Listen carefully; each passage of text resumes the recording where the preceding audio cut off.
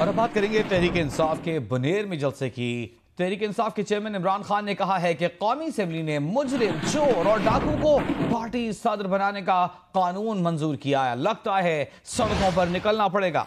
Chairman PTI Imran Khan ने बनेर में जलसे से खिताब में कहा कि एक खानदान चोरी बचाने के लिए मुल्क और इदारों को तबाह कर रहा है।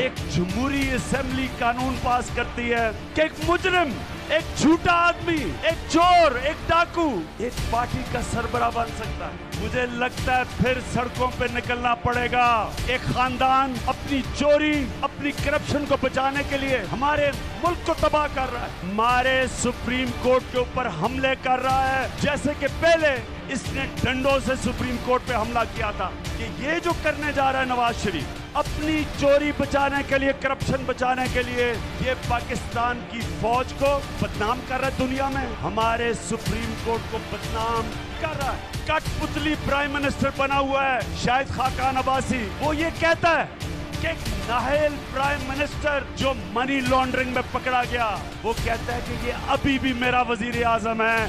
शर्म करो शायद खाकान अब्बासी।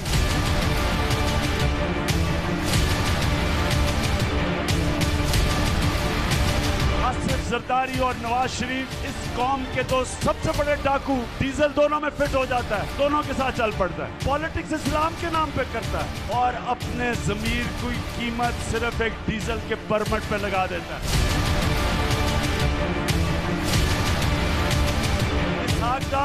वो भी अरबोपति, उसका बाप साइकिलों की दुकान चलाता था। इनकी सिर्फ़ एक कोशिश है कि यहाँ इस मुल्क में इंतसाफ ना हो।